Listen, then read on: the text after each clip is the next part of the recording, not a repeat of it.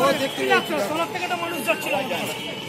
ওপর থেকে